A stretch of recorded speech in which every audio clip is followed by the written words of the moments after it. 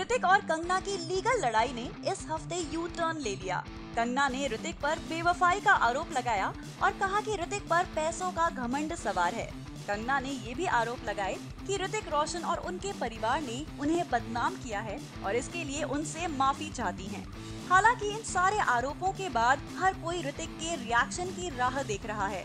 और इसके बारे में बात करने के लिए जब राकेश रोशन के बर्थडे पार्टी में मीडिया ने उनसे बात करने की कोशिश की, तब उन्होंने मीडिया को इग्नोर किया और बड़े ही गड़बड़ी से वहाँ से निकल गए।